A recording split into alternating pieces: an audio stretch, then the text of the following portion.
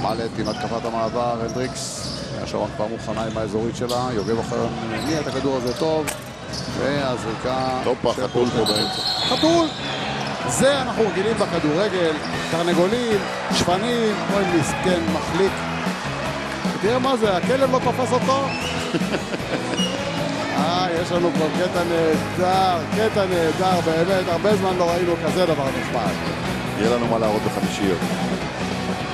השאלה אם הוא הלך באופן קבוע או שהוא חוזר, אתה יודע למה הוא נכנס? אתה יודע, הוא פשוט ראה פה. כן.